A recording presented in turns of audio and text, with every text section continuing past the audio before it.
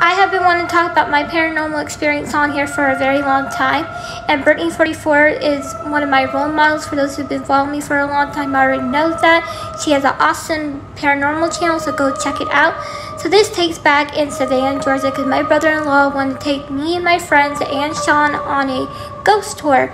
So after when we were done with the ghost tour, we found these creepy stairs, and something told me not to go down those stairs. So everybody went down those stairs except for me and Sean because I begged him to not go. And so we got back to my brother-in-law's car and I just had a very bad feeling. And then the car light started turning on and off by itself.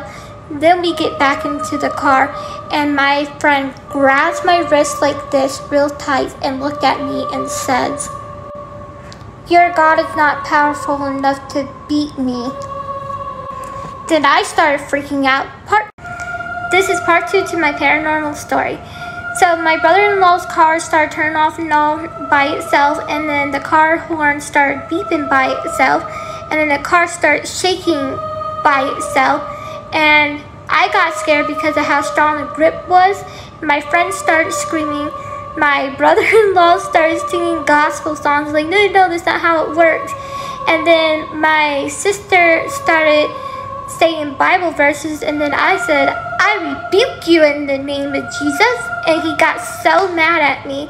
But I got mad at him for possessing my friend.